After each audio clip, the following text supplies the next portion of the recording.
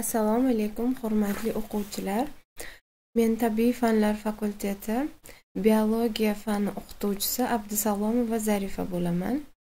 Biz sizlar bilan bugun o'simliklarning mineral oziqlanishi mavzusida e, tanishib chiqamiz. Bizning rejalarimiz quyidagilardan iborat.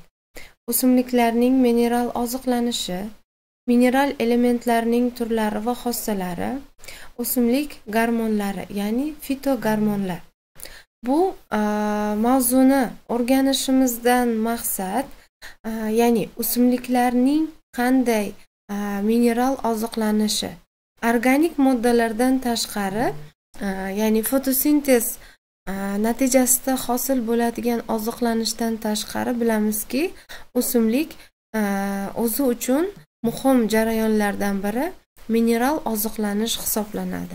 Mineral oziqlanish e, o'simliklarda o'sish jarayonida judayam katta ahamiyatga ega. Zarur o'sishning to'xtashiga e, keyinchalik e, bu o'sishga mineral elementlarning ta'sirini o'rganishda biz asosan olishimiz mumkin. O'simlikdagi elementlar ya'ni mineral elementlar makro elementlar hamda mikro elementlar makro elementlarga ko'rib turganingizdek uglerod e, kislorod vodorod azot fosfor e, demak oltin gugurt magniy kaliy kalsiy kabi elementlarni olishimiz mumkin.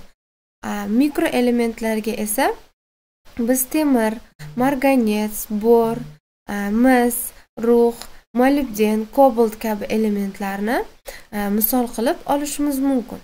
Demak mana bu rasmda ko'rib turganingizdek e, fosfor kalsiy temir hamda azotdan e, iborat to'liq eritmamizda o'simlikning o'sishi va ana shu e, to'liq eritmalardan birinchi ikkinchi namunadagi o'simligimizda fosforning yetishmasligi kalsiyning qo'shilmaganligi temirning yoki azotning qo'shilmaganligi jarayonlarda o'simlikning qanday e, o'sishiga e, zararli ta'sir ko'rsatayotganini biz ko'rishimiz mumkin bo'ladi.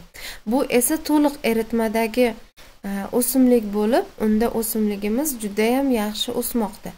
Demak elementlarning makro mikro elementlarning ahamiyatini biz shu yerdan ham ko'rsak bo'ladi. Demak e, mikroelementlarning ahamiyati haqida yana gapiradigan bo'lsak e, ularning har biri ma'lum bir fiziologik jarayonlarni boshqaradi. Shuning uchun mikroelementni boshqasi bilan almashtirib bo'lmaydi. O'simlikda ularning miqdori nol butun nol nol birdan nol butun o'n mingdan bir foizgacha bo'lishi mumkin. Ular tuproqda suvda tog' jinslarida va barcha tirik organizmlarda mavjud bo'ladi. Tuproqda mikroelementlarni biz ikki xil holatda uchratishimiz mumkin. Birinchi holatimiz o'zlashtirilmaydigan ya'ni e, o'zlashtirilmaydigan mikroelementlar tuproqda suvda erimaydigan suyultirilgan kislotada erimaydigan tuzlar organik yoki anorganik birikmalarni misol qilib olishimiz mumkin. Suvda ikkinchi turdagi o'zlashtirilgan o'zlashtiriladigan shakldagi mikroelementlarimiz esa suvda yaxshi eriydi va tuproq orqali o'simlikning ildizidan uning ichki organizmiga yaxshi kira oladi. Va biz shunga qarab Э, mikroelementlarning э, o'zlashtirilish yoki o'zlashtirilmaslik darajasini э, bilib olishimiz mumkin bo'ladi. Mikroelementlardan tashqari o'simliklarning o'sish jarayonida fiziologik jarayonlarining normada ketishi uchun o'g'itlar ham juda katta ahamiyatga ega. O'g'itlarning normadan ko'p solinishi yoki kam solinishi ham o'simlikning o'sishiga rivojlanishiga e, vegetativ e, qismlarining qurishiga sabab bo'lishi mumkin. Ho'p e, biz endi o'simlikda o'g'itlar haqida gapiradigan bo'lsak o'simliklarda o'g'itlar organik o'g'itlar hamda mineral o'g'itlarga bo'linadi organik o'g'itlarga biz oddiy qilib go'ngni misol e, qilib keltirishimiz mumkin. Mineral o'g'itlarga esa e, barcha kimyoviy zavodlarda ishlab chiqariladigan e, mineral o'g'itlar ya'ni sun'iy tarzda ishlab chiqariladigan o'g'itlar mineral o'g'itlar hisoblanadi. Mana bu rasmda ko'rishimiz mumkin. Fosfor azot kaliyli o'g'itlar endi biz umuman mineral elementlarning fiziologik ahamiyati haqida gapirishdan oldin har biriga alohida alohida to'xtalib o'tsak. Masalan azot. O'simliklar hayoti uchun eng kerakli elementdir. U hayotiy muhim birikmalar oqsil ferment nuklein kislotalar va boshqa bir qator birikmalarning tarkibiga kiradi.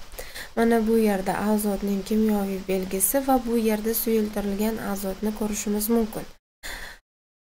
Toza havoning e, umuman atmosfera havomizda yetmish besh butun olti foizini tashkil etadi. Bir kvadrat metr yerda esa sakkiz tonnagacha azot bo'lishi mumkin. Lekin atmosfera azotini o'simliklar to'liq holda uni o'zlashtira olmaydi.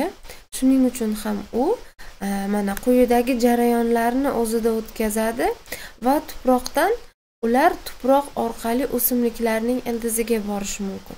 Birinchi bo'lib o'sha chaqmoqlar natijasida e, azotning tuproqqa inishi va undan keyin ammonifikatsiyaning o'tishi keyin nitrifikatsiya hamda denitrifikatsiya jarayonlari orqali azotning siklik aylanishini kuzatishimiz mumkin bo'ladi.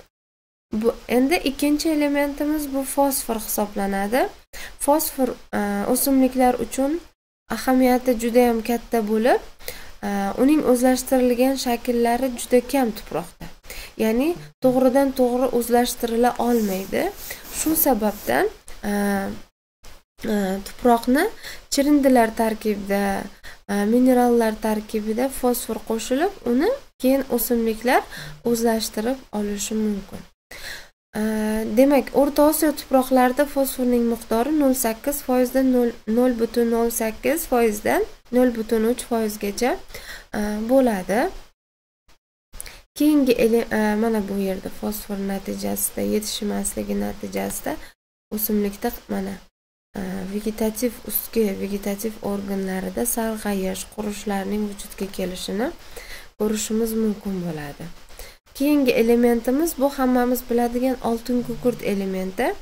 E, oltin gugurt e, organik birikmalar shaklida uchraydi sulfatlar yaxshi eriydi va oson yuvilib ketadi. Tuproqda anorganik fosfat tuzlar shaklida biz uni kuzatishimiz mumkin bo'ladi. Kaliy kaliy o'simliklar uchun zarur metallar guruhiga kirib ular o'simlik tanasida quruq og'irligiga nisbatan nol butun besh bir butun ikki foizgacha bo'ladi.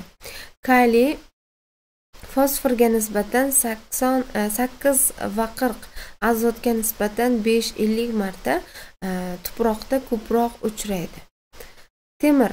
Temir ham Э, temir ionlari э, shaklida o'zlashtiriladi tuproqdan o'simliklar va ular e, o'simlikning bargida oksidlar holatida to'planish xususiyatiga ega.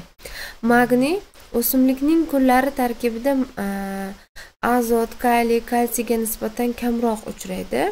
Demak yuqori o'simliklarda biz e, quruq og'irlikka nisbatan aytadigan bo'lsak nol butun nol ikki foizdan uch butun bir foizgacha. Suvotlarda uch uch yarim foizgacha bo'lishini kuzatishimiz mumkin bo'ladi. Demak magniy o'simliklarda kation holatida o'zlashtiriladi? Natriy va kalsiy elementlari ham e, o'simliklar tanasida ularning o'sish va rivojlanishida juda katta ahamiyatga ega hisoblanadi. E, masalan e, shakar lavlagi o'stirilgan yerlarda natriy xlorid solinganda hosildorlik oshganini shakarning miqdori yarim bir foizga ko'paygani kuzatilgan. Kalsiylar esa demak kalsiy daraxtning po'stlog'ida va qari barglarda eng ko'p uchraydi marganets marganets dastlab berton va michurinning tajribalari o'simliklar hayotida e, juda katta ahamiyatga ega ekanligini ko'rsatadi tuproqda marganez amorf oksidlar karbonatlar shaklida silikatlar tarkibida bo'ladi. Marganets fotosintez jarayonida ishtirok etib suvning fotolizi va kislorodning ajralib chiqishi karbonat angidridning qaytarilishida muhim rol o'ynaydi. Rux